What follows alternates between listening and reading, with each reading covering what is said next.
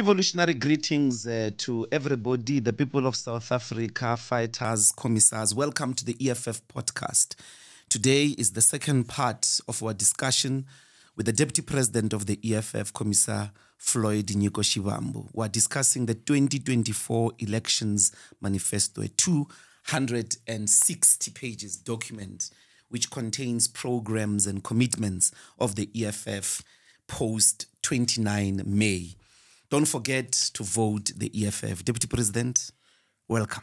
Yeah, thank you very much, uh, Commissar Mbuyiseni, and uh, it's uh, great that we continue with these very important conversations so that we illuminate the entirety of society to mm-hmm. have a far much better apprehension and understanding of just what does the EFF stand for and how are we going to constitute government and how are we going to deal with all the necessary uh, demands that come with being government mm-hmm. uh, from the 29th of May onwards. So we have to, from time to time, uh, make these reflections. Well, let's delve right into it. One of the big questions relates to 260 pages of programs and commitments. And commitments, yes. How is the EFF going to fund its manifesto? Look, we're going to speak to the details of just how the manifesto is going to be funded, mm-hmm. uh, each and every aspect. We're actually going to speak to the five broad categories of where the money is going mm-hmm. to come mm-hmm. from to finance the entire manifesto. But at the core level of what we are going to explain is that we're going to utilize the political power which we're contesting for now mm-hmm. to use fiscal and monetary policy to drive industrialization and economic growth so that the base upon which you collect revenue or like taxes for the state is far much more widened because a government primarily relies on taxes uh, for the expenditure for the budget that it utilizes to meet social obligations, to drive economic growth, to guarantee safety and security, and a variety of other of its obligations. So we are going to meaningfully utilize fiscal policy and monetary policy to respond to the demands of our people. So that is basically what we're going to then deal with. But I'm going to speak in detail later yeah. on as to what are the key components of fiscal policy which we're going to then deal with. Yes. There is a chapter on fiscal and monetary policy for the benefit yes, of our. It's chapter 27 of the 33 chapters, yes. For the benefit of our listeners and viewers, uh, what is monetary and fiscal policy? So actually, both fiscal and monetary policy falls within the broad framework of macroeconomics. Mm-hmm. So, like, so the difference between macroeconomics is the ones, the macroeconomics are the ones that deals with fiscal monetary policy. I'm going to explain what that is now, mm-hmm. and microeconomics speaks to the issues of industrial policy and what mm-hmm. a trade and industry department or an economic development department would do. But in terms of fiscal policy, it speaks to the role that the government has to play in uh, revenue collection and government expenditure. So the issue of budgeting as to where do you dedicate most of your resources in, in infrastructure, in, in, social development or social mm. protection, in healthcare, education. So that is the fiscal policy. So fiscal policy plays a very important role in driving economic growth because it's literally the money which a government injects into society uh, with the hope that such is going to generate uh, more uh, economic activities. So that is basically the summary of it that is about revenue collection and government expenditure as fiscal policy. Monetary policy speaks to the supply of money mm-hmm. and the protection of the value of the currency. The currency will be the rand in the case of South Africa. Uh, so the, the, the primary instrument uh, uh, that protects the, or deals with the supply of money and protects the, the currency is the central bank, which is the South African Reserve Bank in the case of South Africa. Mm-hmm. Actually, Section 224 of South Africa's constitution says that the South African Reserve Bank is mandated with protection of the value of the currency with the aim of uh, promoting economic growth and development. That is basically the distinction between monetary and fiscal policy. So, government is solely and primarily responsible for driving fiscal policy as to just where do we expend the now more than two trillion rands budget which South That is Africa is, is, is, is, is collected. Yes. DP, um, before we go into the detail of how the EFF will use the budget uh, and how it is going to collect taxes or revenue or expand revenue, what has been the South Af- or South Africa's fiscal policy over the last 30 years? And if you could give us a diagnosis uh, in relation to its own objectives, but also in these objective, in the general objective of uplifting the living conditions of our people. Look, the general diagnosis of how fiscal and monetary policy have been utilized in South Africa since 1994 is that they have dismally failed, and that is illustrated in the consequences of the socio-economic conditions of our people, mm-hmm. generally even with economic measurements. Because the average growth of South Africa since 1994 has never exceeded 2%. Mm. And we always highlight the fact that in the past 12 years, like from 2012 uh, uh, to now 2024, mm. the average growth is 0.8%. percent. Mm-hmm. The director, the sitting director general, I hope he's outgoing as well, mm-hmm. of the National Treasury, makes that remark in the 2024 2025 budget, a full budget statement that uh, we, we have had an average of 0.8 uh, economic growth for the past 12 years, and that the debt service costs have risen because the debt to GDP ratio, like the money which government owes uh, different financial institutions domestically and globally, has increased to the extent that we have, as South Africa's biggest expenditure item, we have debt service cost. Like this is the money which we are repaying back to the international financial institutions and domestic financial institutions. Where we borrowed money. Where we borrowed money. And that is like 383 billion. So With 383 billion, you can do a lot of money. Because, I mean, like, if you look into that, the next item on the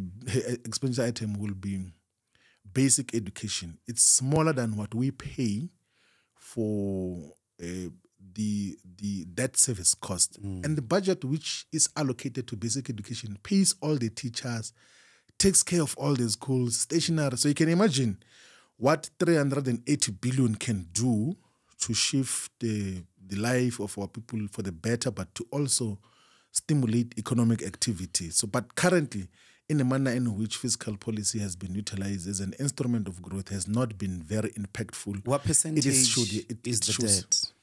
So we are currently at 70%, the debt GDP, GDP ratio. It's at 70%. So we we owe about um, 5 trillion rands for an economy which is just above or just above 7 trillion rand in terms of GDP measurements.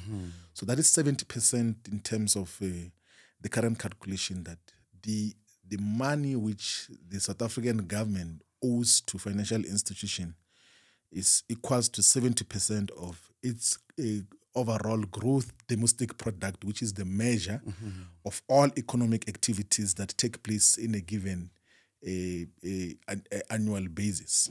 Yeah.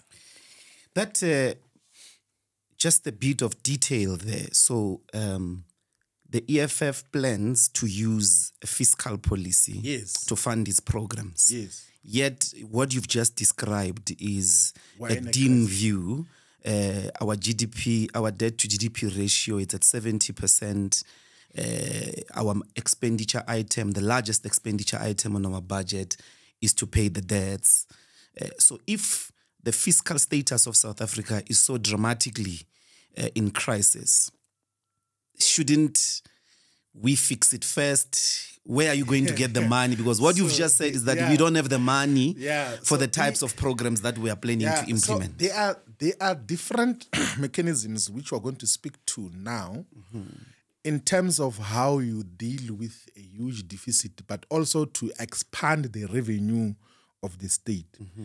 The obvious one is that you must develop the productive forces. Mm-hmm. So in the mainstream language, they say it's, you must grow the economy. It's economic growth. Like, but I want to emphasize on uh, referring to economic growth as development of the productive forces because mm-hmm. sometimes economic growth can just sometimes even refer to the nominal increase in the value of uh, the economy without a real productive sector expanding. Mm-hmm. Like there was a time when South Africa's economy grew due to the increase in the prices of natural resources of commodities without really creating additional jobs or without like building additional infrastructure without doing anything productive. So at the base of how you want to increase your revenue you must grow the economy you must develop the productive forces in a much more meaningful way.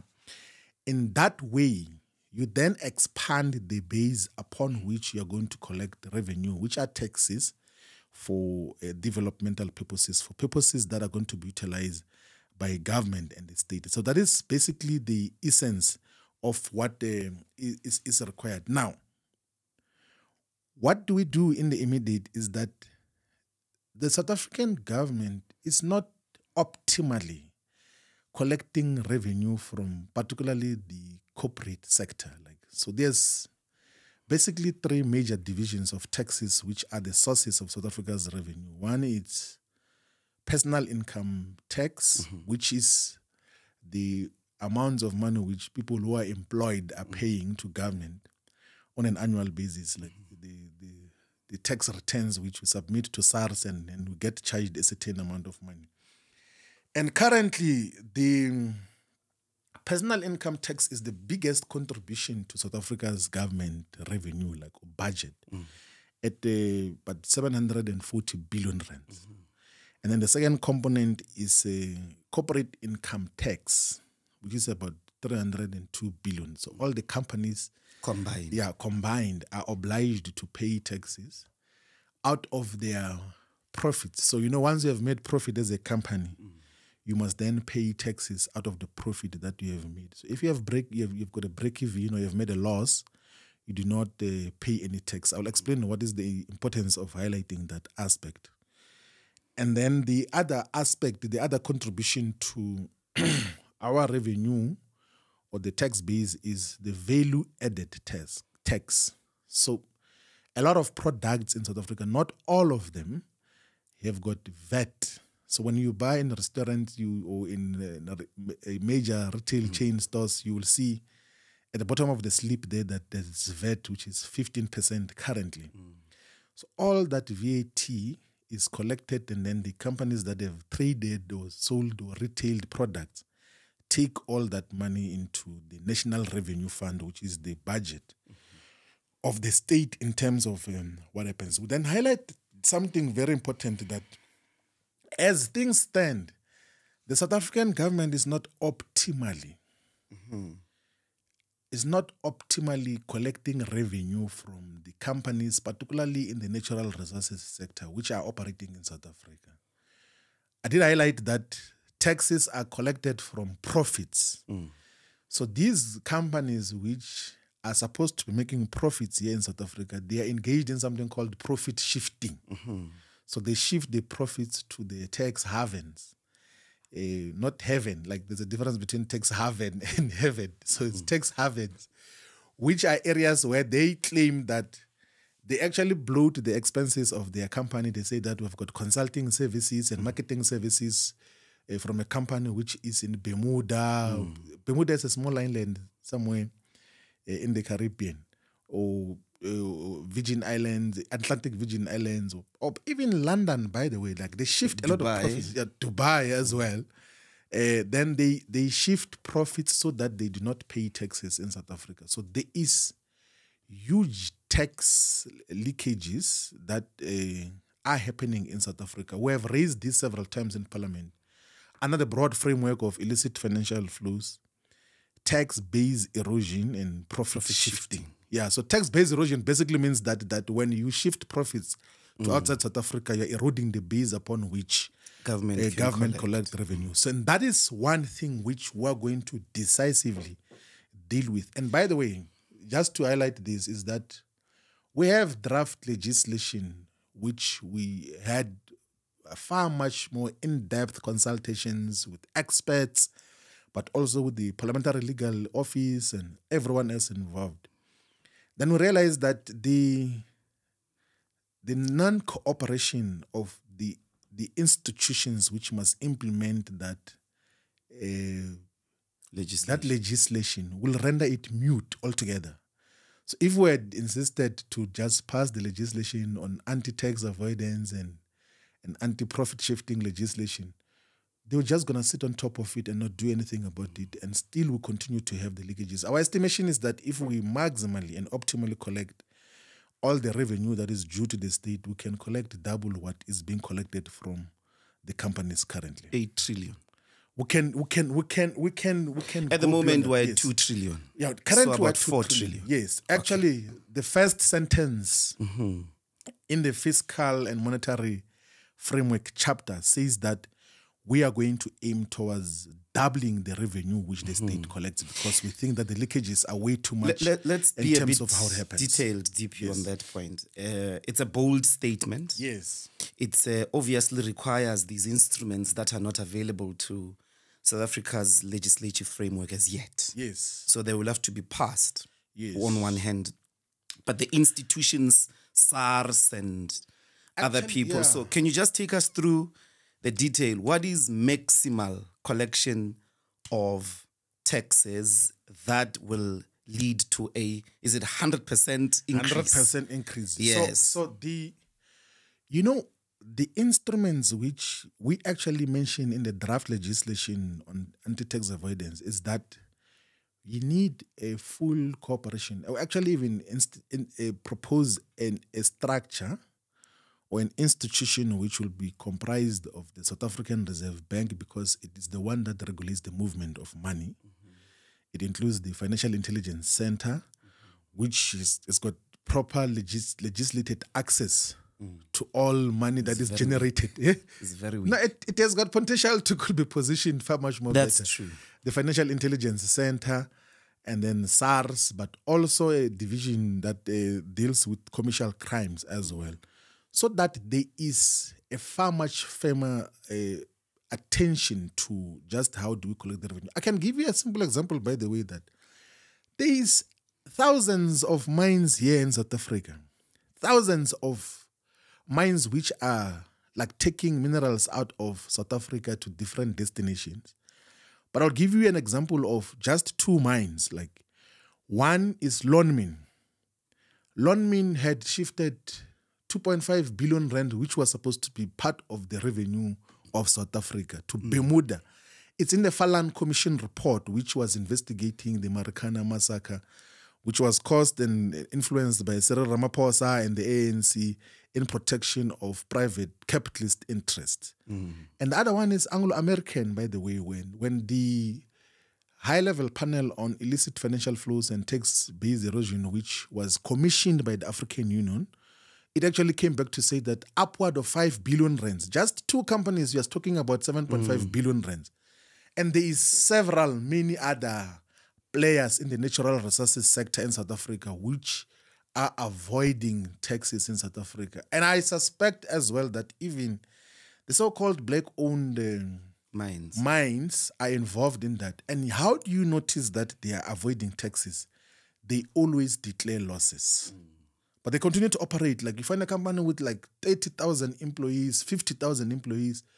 But every time in their finances, they say, We've made a loss, we've made a loss, we've made a loss, so that they do not pay any tax eh, in terms of what is expected from them. So we need to have a forensic, even retrospective uh, attention to the phenomena of uh, evasion. Retrospective. Yes, we must go back. We must put a commission of inquiry to look into what historically have been the avoidance cases of taxes which otherwise are back? due. Like how far? We must, must go as far back as 10, 15 years and everything else. I We can remember come back that with the- the uh, we can come back with the with the actually we remember the the letter which we wrote to the head of state and government after the Farlam Commission made that demand that we need Yeah. a commission of inquiry into tax avoidance and illicit financial flows. And we, we, are, we it's it's more than guaranteed that such can be able to to increase revenue in a huge way. That is one one aspect. I must put the next one. no I um, want to stay there, yeah. the President Mbeki led a a AU High Panel uh, initiative, which actually estimated, as a, if I remember the figures correctly, that over the last 50 years, the continent could have lost a close to 1 trillion US dollars into illicit financial flows. Yes. And they were, they, their marker was about 50, 50 years. It, it seems like a fundamentally important point, not for South Africa only, but also for the economic activities of extractive industries across the continent. Yeah, you know the the most painful thing about the African continent and its economic activities is that even outside of the tax avoidance and profit shifting, there is also natural resources theft. Like in the Democratic Republic of Congo, where these major uh, companies they build landing strips like closer to the mines and of cobalt. Cobalt is utilized to make the electronic products like phones and iPads and laptops. They literally build landing strips and land there and take the minerals and leave the country. In the Niger Delta, in Angola, in Ghana, like they just literally go and park a vessel there, pump crude oil and leave.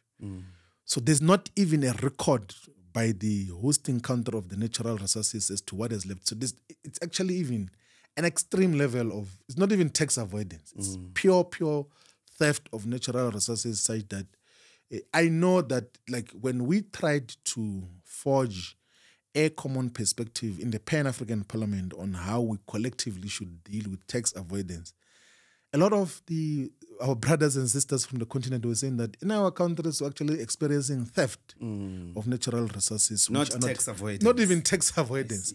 Here in South Africa, at least to some extent, there is an account mm. of where the mines are because the state is custodian of all mineral resources. We give mining permits. We, we are looking for reports as to what have you produced, what are you taking out of the country. The law actually even permits as to the minister regulating just how much minerals must go out of the country and all of those mm. aspects.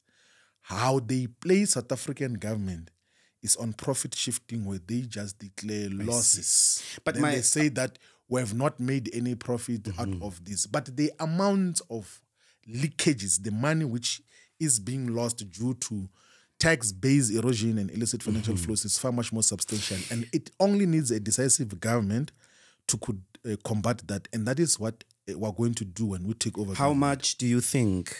Uh, I was trying. Where I was trying to go is that commission or high panel estimated about a trillion US dollars over 50 years. If you go, you said 15 years or 20 years. Just how much, estimation wise, do you think, upon the resolution of the illicit financial flows problem, how much how much would you raise for South Africa out of that first instrument? you know, I'm, I'm sure that the detail we might actually even discover more than what we had estimated. I know all the estimations, like desktop estimations, were pointing to upward of 250 billion annually in South Africa only. in South Africa only. Yes, so that is that is the estimation that we've already- 250 billion of Annually. is the money South Africa should is it in rands potentially potentially collect as revenue From- from the corporate uh, sector, particularly in the natural in the extractive industries. So that is that is that is the number that 250 billion rands yes that's the first money Yeah, If- which which will get and then out of the first instrument Yes. what is the next instrument the next instrument um, will have to be to capacitate the local state to optimally collect revenue. So the current funding framework or the fiscal framework that allocates revenue or money to or like budgets to local governments and provincial government is premised on the supposition that the local state should collect its own revenue. Mm. But currently, the local state is, is almost perennially incapable of collecting revenue. I think it's less than 20% of municipalities in South Africa that are collecting revenue. Yeah, the rest are not. probably far less yeah, the, the, outside So- the major and, metros and and what is actually even concerning is that even the metros are not optimally collecting mm. revenue. Like they they could do four or five times more than what they are doing now. Like particularly with like the large power users for electricity, property rates, and mm. water rates, and all of those. Mm. And there is a mechanism which we have to institute in the local state in all the municipalities to optimally collect revenue. So that then gives the national government far much bigger breathing space to allocate the resources to other developmental or industrial projects because you do not need to over subsidize the local state with literally everything else that they do because they they, they would have um, collected their own revenue uh, optimally. And and they they are so many leakages. Sometimes it's due to lack of proper systems for billing and making sure that whoever is utilizing municipal services, whether it's electricity, water, lights, rubbish collection, pays uh, uh, fully. But the other aspect as well that applies is corruption. I'll tell you of a metro- metropolitan municipality where, retrospectively, a large power user was owing the municipality 345 million, but the municipality went to negotiate with that person to pay 50 million only. But you can already see that there was an arrangement elsewhere that Yeah. will give us the other money on the other side there. So there's that that has to be combated. And Why is the local state? I mean, I, I understand that uh, the entire state, from the executive up to the local state, has a lot of corruption, but it seems from a basic observation of the Auditor General's reports, the biggest leakages are at the local stage, at the local state, out of which corruption activities happen. Eh, what is the cause of that? And uh, I mean, if you're going to close those leakages of corruption, what would be the immediate things EFF would do? look, you know, they, uh, there are certain things which have to be handled differently. The, I mean, like you've got a situation where Eskom, for instance, is owed billions of rands by municipalities. But and Eskom continues to give bulk electricity to municipalities to trade for them. So you give bulk electricity to eh, a Mfuleni municipality. Mm-hmm. They sell electricity to people. They get the money fully mm. because people must pay for electricity and then they don't take it to Eskom. And, and and Eskom doesn't see anything wrong with that. They continues to give them electricity and all of those other things there. I think from a central coordination point of view, from a responsible government point of view, when we realize that certain politicians and corrupt individuals are playing some dirty games in terms of control of our resources, we must take over those functions. Mm. Like, why do you? Because Eskom can directly institute the mechanism of selling electricity directly to our people without the municipality being involved if it doesn't bring the money back because Eskom has to pay workers, has to maintain the power stations, has to make sure that everything else is in place. But if some rascals in the municipality are just taking the money which is supposed to sustain the electricity generation and transmission, you must take over that function decisively and, and, and arrest all the leakages. I don't think that such can even take us more than six months to put into place. Mm-hmm. Because if a municipality has been receiving bulk supply of electricity from Eskom and it doesn't bring back anything, we must take those functions so that we stabilize the revenue basis. Because part of the, the state guaranteed debt is upward of 400 billion, which is owed uh, to Eskom, like uh, which which is which Eskom owes actually, not this owed to Eskom, which Eskom owes financial instruments because they are not in a balanced situation. So we have to act much more firmly Hmm. on how the local state then gets to optimally collect the revenue. That is one of the things that Local state. What is the next instrument? The next instrument is to increase the efficiency and profitability of state owned companies. You know, when Telkom, which is partially state owned, mm-hmm. was stable and was like making profit under uh, the CEO Sipho Maseko, mm. it used to give the National Revenue Fund upward of 3 billion rands annually. Mm. Just one state owned company. Out of its own business activities, they will declare their profit and say that because government owes 30% or somewhere there, this is your part of the dividends. Mm. And that contributes to the money which ultimately government must uh, get to. So we have to stabilize all state-owned companies. There's huge potential of what can be done with Denel uh, in terms of its productive capacity, profitability as well to could contribute to the national uh, revenue fund. There's a lot that can be done with Transnet.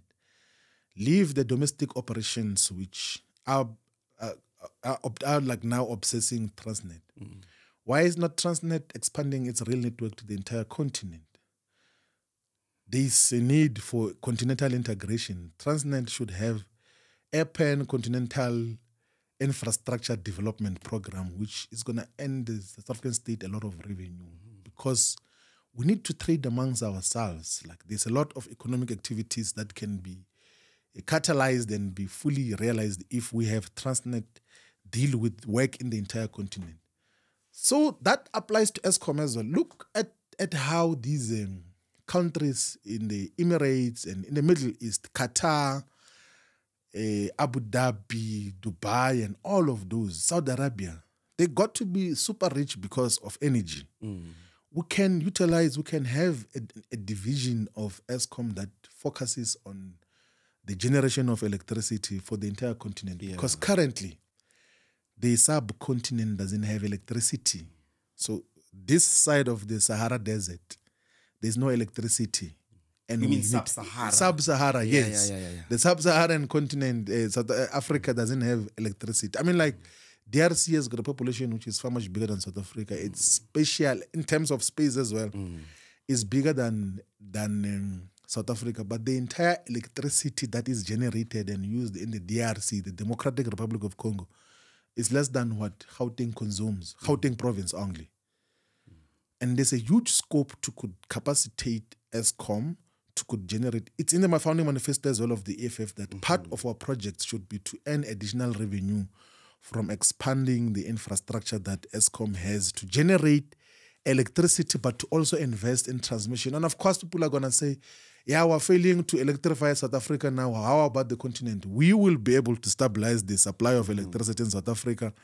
with a view of forming strategic equity partnerships with capable state-owned companies from China Yeah.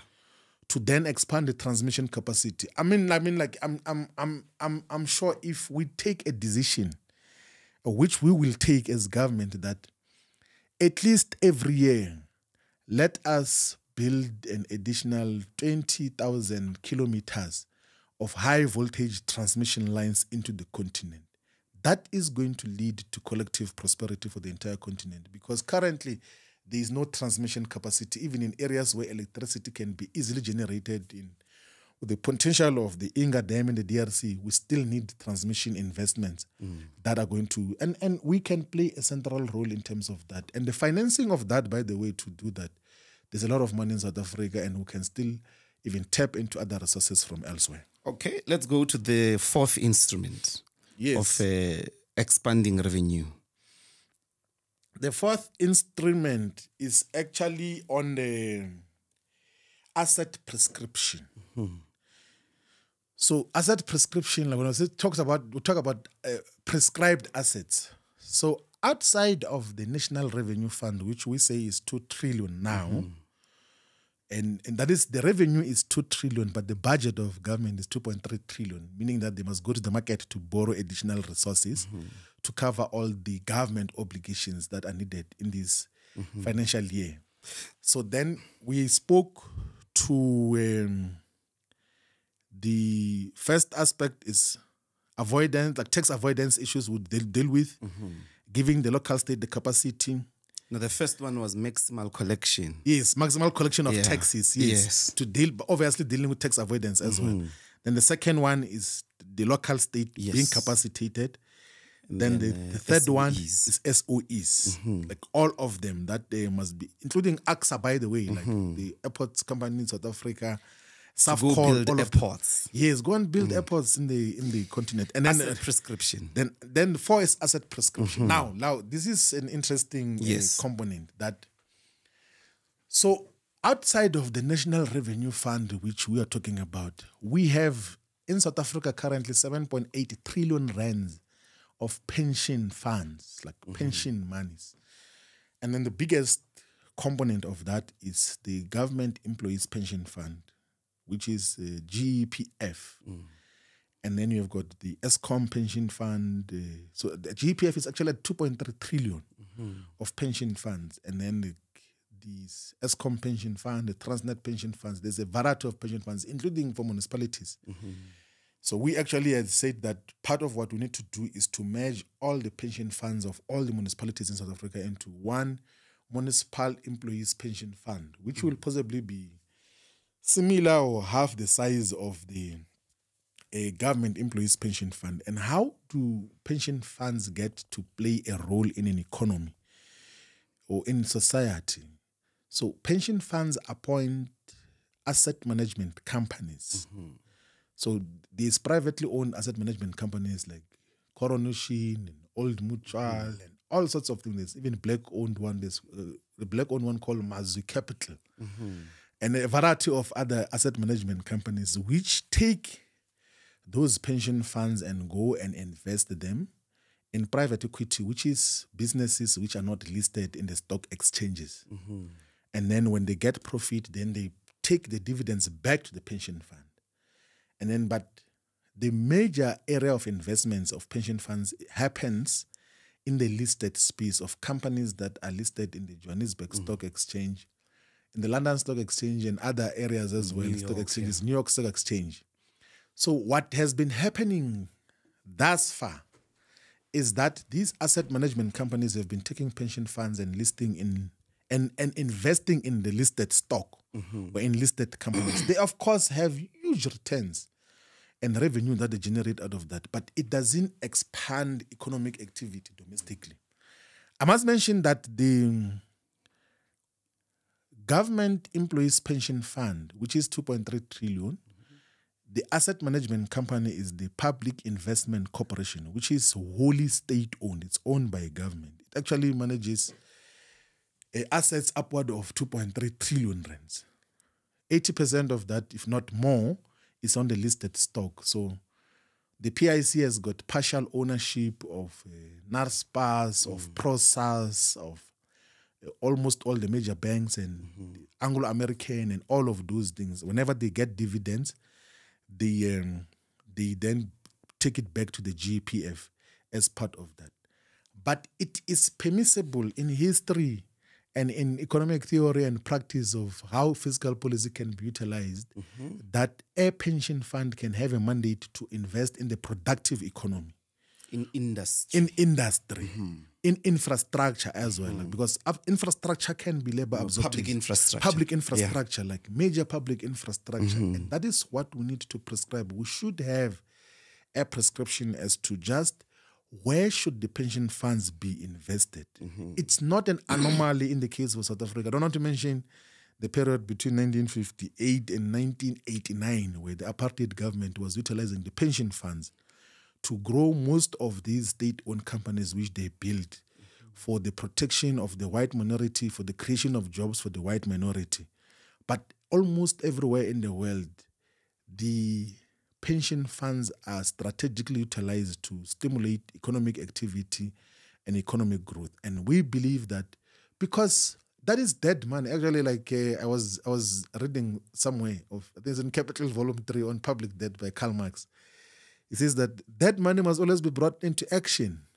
So that is dead money. Like I mean, to have two trillion, which is not doing anything. What is the purpose of that? Seven point eight trillion in total, actually.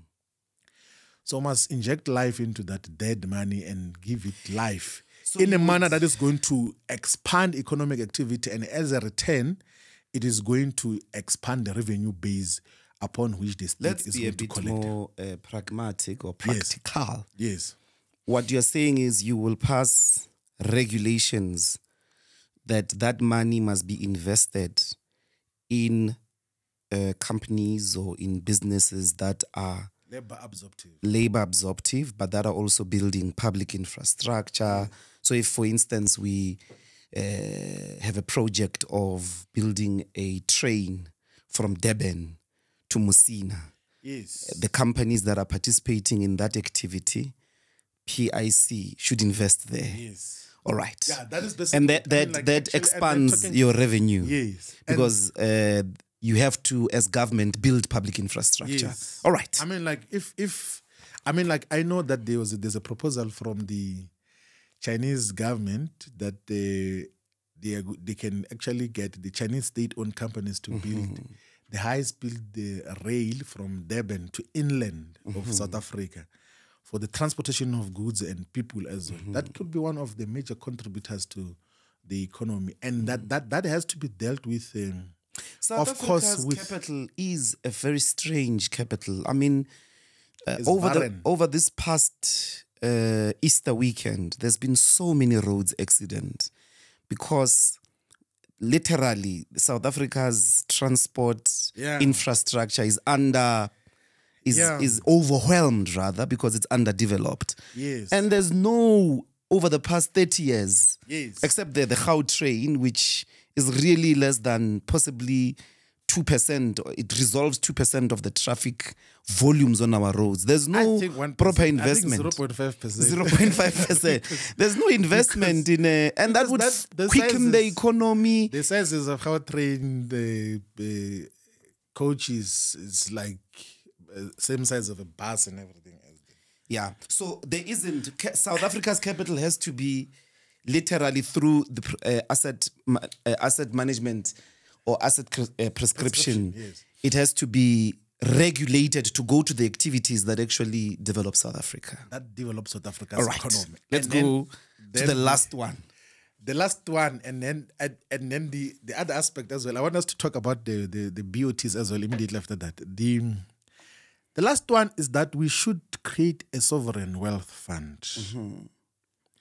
We have made this submission, and we have even made a far much more substantial policy submission as to what should constitute a sovereign wealth fund in South Africa. So, out of the royalties that are earned from the mineral resources and other business activities, let us constitute a sovereign wealth fund. There are very successful sovereign wealth funds in the world. I think one which has exceeded a trillion dollars is the Norwegian government uh, sovereign wealth fund, which primarily benefits out of the natural resources, particularly oil in Norway. It plays a very important role in protection, and actually in provision of basic social protection services, quality education, healthcare, and all of those that are needed. And then you've got a lot of sovereign wealth funds um, in in the Middle East, like Saudi Arabia. I think it's called the Public Investment Corporation as well. And um, What is and all of those? fund? So a sovereign wealth fund. uh, So a sovereign definition. Wealth, yeah, a sovereign wealth fund is like a holding company. Like you create a company Mm-hmm. kind of which deals with investments, which is going to not just manage pension funds, not manage pension funds. Mm-hmm. It gets startup capital. It gets money from the natural resources.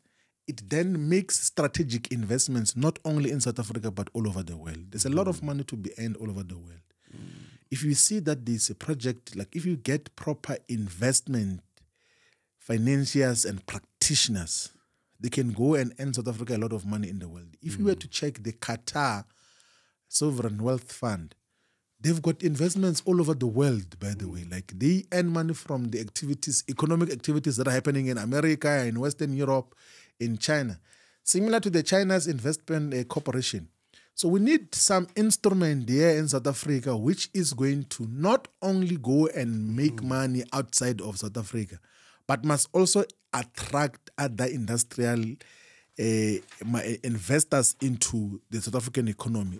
To say that if you come to South Africa to invest a billion rand, we are going to match rand for rand as the sovereign wealth fund, and that can actually encourage a lot of investors because investors sometimes like they they in, in terms of how this gets to work they become wary of just saying no just come and spend the entirety of your money without some security that is guaranteed domestically so a sovereign wealth fund can play a much more significant that role will expand revenue. that will expand two, revenue two- as two- well two things before we go to monetary policy. and i want to talk to uh, BOTs to- here. Yeah, but I wanted us to start with uh, part of what the manifesto speaks about is wealth tax. Can you take us through? Because there is currently no wealth tax in South Africa. I- yes, I think that as part of the tax categories that we currently have, we need to impose a wealth tax How of would it the work? super rich. So we can then quantify There are that. possibly just three families you'll be taxing, no? Seven maybe. so so that will be the You can actually ma- like literally mention them. Oppenheimer, Oppenheimer, the Rupert's, uh, that uh, The ten Johnny guy, eh? Tencent guy, Bekker, Bekker, yeah. yeah, maybe Motsepe, yeah, yeah, yeah, that guy owns Capitec as well, like uh, all of the those. Ackermans, yeah. the Ackermans own Pick n Pay and all of those, like. So, but but what, what, pay- what, what is a, Because you know a what wealth happens- tax, and could you put it as well in percentile terms? what would be percentile? And those who pay wealth tax would they still be paying um, corporate income tax? So you know what? What? What? Yeah, they must pay corporate income tax. So what you tax the wealth tax that you you impose is on wealth that is hoarded, Mm-hmm. like which like when people have got dead money, they've got barren money, like Mm. got trillions of rands. Why do you keep like four, five, six, seven billion rand in a In bank the account? bank, just sitting there. Yeah. What is the purpose of that? And you do not want to get it into activity. Mm. Whilst they've got option to could get that money into activity. So we must then say So the that wealth we tax is going to force people to put money in into- circulation. into, into circulation. yes, and, and, then uh, that instead of keeping it in the bank, that increases economic activity naturally. So if they don't do that, we then say we want a portion of it so that we can bring it into activity. As government, we're going to uh, make sure that we build schools, we build better much- roads, and all of those. How much do you think we could raise from a wealth tax? we can be able to estimate just how much um, wealth is in the hands of these few individuals. Like if the estimation, like a proper proven record that three human beings, like the three richest human beings in South Africa, are richer than uh, 26 million people, you can just know just just how much we can get out of that. But it, it will be a substantial component of money which can be utilized for Do you, I productive mean, purposes. just the percentage, what do you have in, what do we have in I mind? think- in I think- percentile I terms, think- it would be what of their wealth?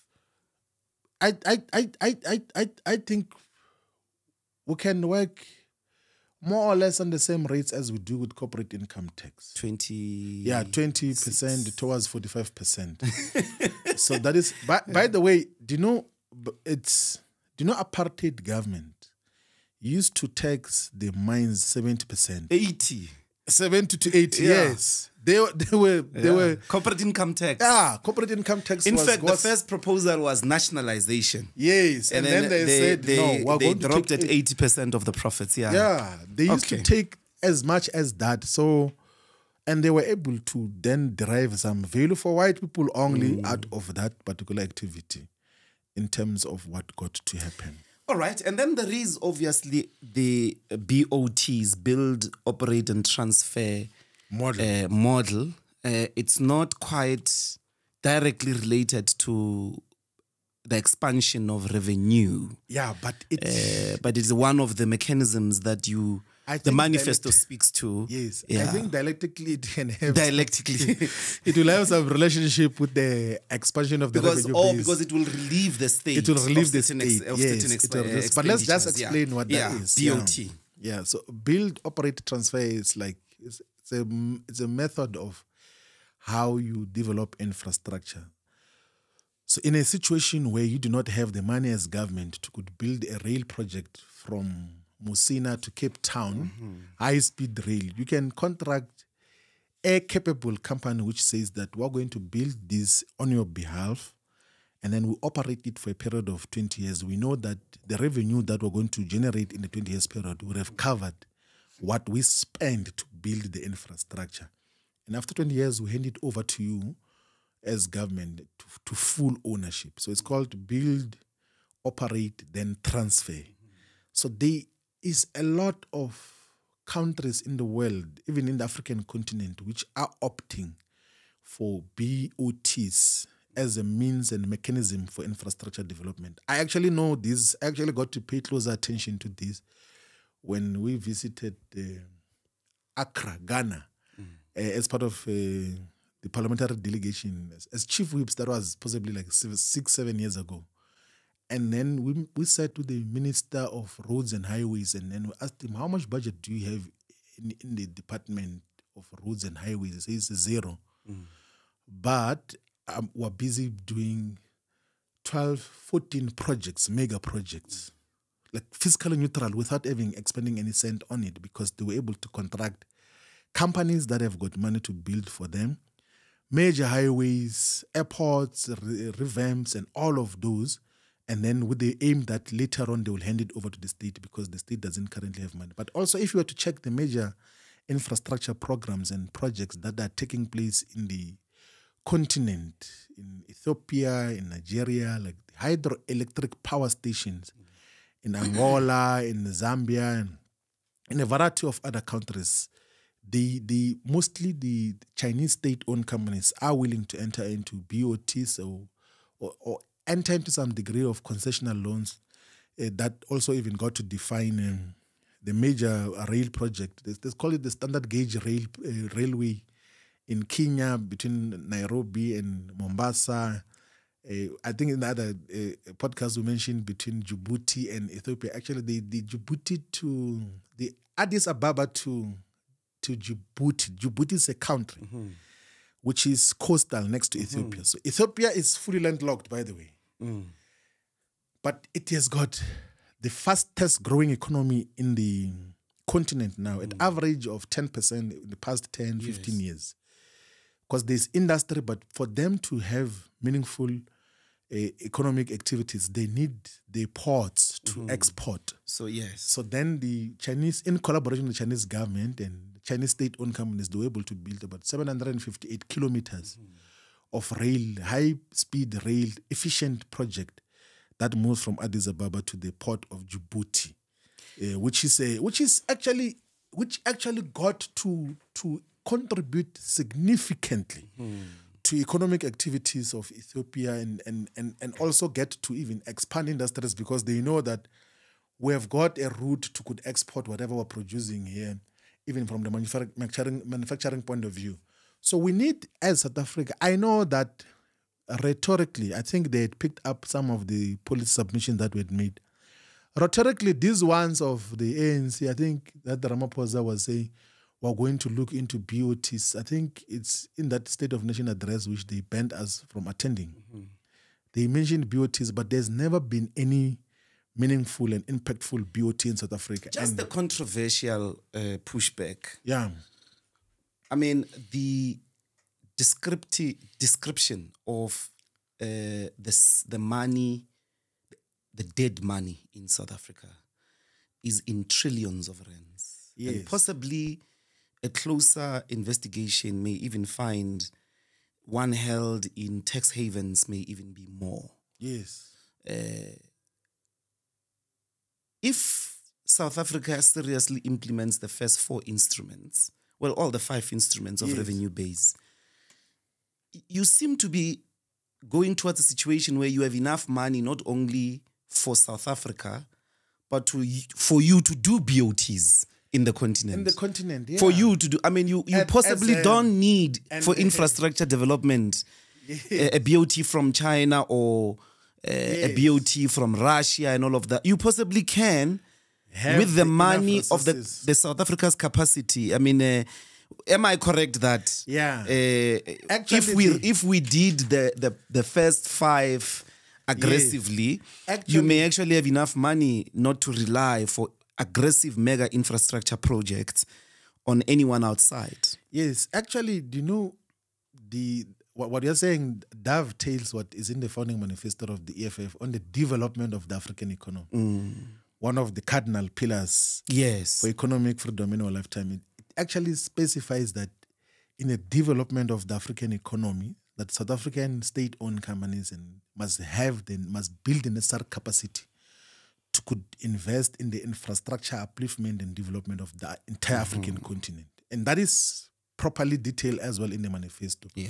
So if we then get to have to expand our revenue basis and we've got surpluses, we should have a continental vision as to mm-hmm. just how do we collectively develop uh, ourselves. It, it it will be folly, it will be foolishness mm-hmm. to think that the development of South Africa must happen for its own sake with, without paying attention as to what happens in the subcontinent, in the entire sub-Saharan uh, uh, uh, continent. so that we are able to, to collectively prosper. We have been stratified in a far much more significant, significant way, such that the standard gauge railway or the, the, the standard the, the gauge for rail projects is not similar in the African continent. That they made it impossible for us to could integrate our rail projects. Mm. We need to pursue that to integrate all mm. our rail projects. Because there's a lot of money to be made Yes. by South Africa from Africa. Yes, and then we integrate the Yeah. entire continent in terms of infrastructure because now all the rail projects are moving from inland of each and every country to the sea mm. Because they want to steal, they want to continue to steal our natural resources. But mm. if we're to integrate the transport infrastructure, highways, roads, everything else there, There could be a we're going to qualitatively and quantitatively expand the intra-African trade, which is essential for common prosperity and common growth. It will mm. then deal with these issues which people complain about every day of migration, because once there is economic activity in all parts of the African, No one needs to no, leave no their one needs to live where they are for economic reasons. DP, let's go to uh, the instruments for the control of money circulation, supply of money, the protection of the value of the currency, and that linked to economic growth, monetary policy. Uh, you explained earlier what monetary policy Yes. is and how has it been uh, uh, the case in South Africa. But just for refreshing people's minds, what is what has been South Africa's monetary uh, policy and what is its diagnosis over the last 30 years? Look, the the you know, we did say that the constitution obliges the South African Reserve Bank to protect the currency or the value of the currency in pursuit of economic growth and development. But it looks like the successive governors of the South African Reserve Bank from Crystals, Tito Mboweni, uh, what is the other governor who came after Tito Mboweni? Um, the former deputy minister of finance, the, the female, and then Lesetja. Uh, yeah, all of them, they seem to have put a full stop on the protection of the currency value. Like so, their major focus has just solely been inflation targeting. Mm. They've only been saying that no, there must not be. That has been the main focus. There's never been any concerted effort mm. on the protection of the economy, on driving economic growth through a Yeah, I But mean, also, I I think can think part of the, the- the, yeah. the, the public into confidence because the, the EFF did meet yes with we have had the engagement with the South African uh, senior executive of the South African Reserve Bank and, and, provided the critique that they have not played a, any significant role in the growing the economy. growing the and they've not denied it. They have not denied it. Like their obsession has been to deal with the balance of payments and uh, the national payment systems and hmm. printing money and all of those hmm. things and bank regulation. But in terms of contributing much more meaningfully to economic growth and even to diversification of those who own and control financial institutions, hmm. the South African Reserve Bank has not played a meaningful How would the impactful role. EFF then take the management of monetary policy to the next step after the full stop to economic growth? How would you use because, do you know- monetary policy for Yeah. economic development? despite this autonomy which is over emphasized of the central bank the constitution by the way says that the ministry responsible for the finances of uh, the country should constantly have engagement with the central bank to guide it on some of the issues. I think there has to be alignment to the country's economic objectives. If our pursuit is industrialization monetary policy must follow that direction how would in terms of like the the manner in which the currency is tagged or pegged must be reflective that we are now a an economy that is now focusing on industrialization industrial or look or when we we we are we and, and and also the form of industrialization that we're going to be in pursuit of whether it's inward industrialization, you know, export led and everything else. They like there are so many aspects that must be looked into. So the monetary policy must always be aligned to um, to to the economic activities that are, are, are being pursued, and that is that is essentially what a, a central bank should be directed to do, and we unapologetically should not fold our arms and say there is gonna be autonomy of a central bank which is not aligned with the economic aspirations of uh, the nation as a whole. So those must be guided so that we collectively. So I'm, I'm. I'm the Reserve never- Bank governor. What instruments must I use uh, when it comes to the usage of monetary policy or the control of So the- money towards industrial development? what what the- would the governor or the Reserve Bank So- practically have to do? So if you have constant engagement with industry, like say like the biggest sector of your economy is manufacturing, mm-hmm. and then you have a meaningful economic discussion with the manufacturing sector, they will mm-hmm. say to you that the interest rates that you are putting are prohibitive for us to trade externally mm-hmm. or to borrow money mm-hmm. to expand our companies and all of those other things then the interest rates must be tagged differently It is mm-hmm. solely the responsibility of the South African Reserve Bank's Monetary Policy Committee to set interest rates. So In it's a decision. It's not. It's not some science. It's not some machine that calculates. It's a decision of human beings that we're going to keep to keep these interest rates at this level for for whatever reasons that they're doing so.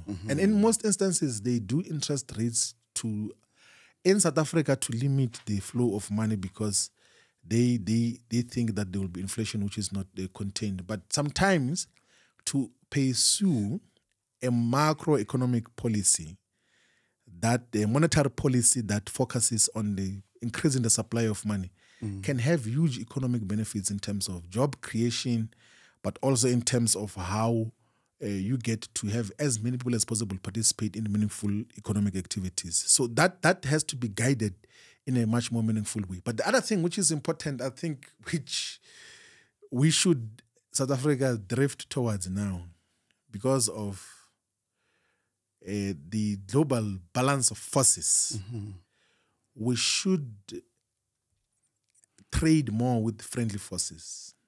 We should trade more with China, with Brazil, with Russia, with Saudi Arabia now, with Ethiopia, uh, with the Egypt, with the countries that are now coming into the BRICS bloc. Because do you know the end of colonization did not end colonialism and neo-colonialism. So these countries in the West, they always have neo-colonial aspirations and intentions whenever we trade with them. Whenever you do business with the US or the Western Europe countries, they always want to prescribe to you what you must do. They do it mm. directly, or they utilize their puppet institutions like the World Bank and the IMF to determine your economic policy direction. But also now they are even in invading the energy policy direction mm. because it is not wholly South African's direction, like solution, to want to decommission Coal power. coal station. power stations. It's an instruction from Joe Biden. Actually, you remember in the conference of parties, this COP27, mm-hmm. Joe Biden is the one who actually announced that South Africa is going to start closing coal power stations before even the Minister of Mineral Resources was aware. even before the Minister of Energy in South Africa was aware, Joe Biden was announcing that South Africa is going to close to decommission coal power stations. So we need to purposefully increase our component and share of trade globally with the friendly forces, uh, those that do not have neo-colonial intentions in terms of how we're going to trade with them, and that inevitably will form part of the insulation of the currency of South Africa like the protection of the rand, uh, because of the- the yeah, rand. the value of the rand, because they these liberals are alleging that we are going to lose the value of the rand when we take over government. It is not going to happen. We're going to have a very stable currency whose value is going to be aligned to the economic aspirations and plans of the country at any given moment. Yeah, I, I, I, that's where I was going because I think there must be a much more patient explanation of wh- when an international economic backlash occurs because of the policies the EFF adopts, just the basic Roy Khafar. Uh, Russia went through the same thing, experienced huge amounts of capital flight. Uh, in the first phase, just uh, after the fall of the Berlin Wall, and then most recently with the Ukraine conflict. If the EFF government takes over and there is a Van Rooyen, the, the Des Van Rooyen reaction to the EFF, uh, and capital literally facilitates the devaluing of the rand, but also we experience capital flight. Because you said earlier already, Yeah. they keep trillions and trillions of rands yeah. in the they- system. So at the click of a button, uh, about four, five trillion rands in South Africa's economic can leave. I What would be the, that's what it's being alleged. yeah. What would be a mechanism Uh, in relation to the EFF to deal with that situation? Yeah, I you know like the current the obtaining economic conditions of South Africa, I don't think there's a scope to could bully South Africa through the currency in a way that will wholly collapse the economy. Mm-hmm. One of the major factors, by the way, is South Africa's biggest trading partner now, both imports, exports, and is the People's Republic of China and the other role players are coming in as well. So like the Western agenda, and which are the ones who bully uh, like the less developed uh, developing economies into submission. I don't think that they would even go to that direction. Also, I don't think that there's anyone rational in the entire world who would think that the EFF as government is going to destroy the economy. We, if anything, we're going to expand South Africa's economy in a manner that is sustainable. And we will, of course, take lessons from the Russian Federation in terms of building internal mechanisms and having the economy anchored domestically so that we are not threatened by all these uh, other players. And remember that at the core of the imperialists' interest in South African economy is the natural resources. So capital flight is not easy. It's not something you can just say that I want to fly to, fly to where? Like the minerals are here. The iron ore is here. The gas potentially is here as well that is needed. Like it's like it's real economic activity. It's not some fictitious capital which you can just click a button and you say that I'm out of there. It's real economic activities. So the uh, I don't think we're that vulnerable, like in terms of what got to happen. And the the I think also what has to protect the entire economy is the conduct as well of the political leadership and those who are leading uh, everywhere else. So you see, the reason why they could easily enter Zimbabwe and ravage it and savage it in a huge way, uh, its currency, is because a substantial number of its political leadership was very compromised. Like, and traceably, Compromised how? traceably compromised in terms of the uh, their own personal dealings mm-hmm. with money movements and everything else. Because once money gets into the banking system, these mm. imperialists know how much who has got what and everything else, where the money is. So they could see that, but this money of Zimbabwe is just moving in the accounts of politicians. There. Mm. Millions, and they, they've not earned it legitimately and everything else. That is why when they did the sanctions in the beginning, they did targeted sanctions to target individuals that you and you and you and you and you cannot have any trade with us in terms of what happens. So, if there is proper integrity amongst the leadership uh, at a political level and and everyone else involved, including public officials, we are well insulated. And then, of course, working with our friends uh, in the BRICS bloc, we are far much more insulated from the threat of a devalued currency. We are, we, we, we, we if anything, we're going to thrive and have the you're- far much the long overdue economic it prosperity. the It's Yeah, just, it's yeah. it's a phobia, like a fear is, yeah, that is what they do all all the all the time. Even even 1994, like they they used to say the same thing. Like In fact, there were They used to say the same was thing. Capital flight DP between 94 and 96. Eh, eh, eh, this Significant uh, big companies went to register in the London Stock of Exchange, taking advantage of the opening up. So i actually, isn't it that our mineral do you know- industrial do you know- complex, do you know that? The, do you know in the and that did lead to the- the weakening no. of the value of the rand? No, I didn't. Okay. No, do you know that the the the ceremony which they perform in the New York Stock Exchange when they list a new company, Mm-hmm. they ring a bell there. You must guess who rang the first bell when the first South African company went to list in the New York, New York Stock Exchange. Mm-hmm. It was former President Nelson Mandela.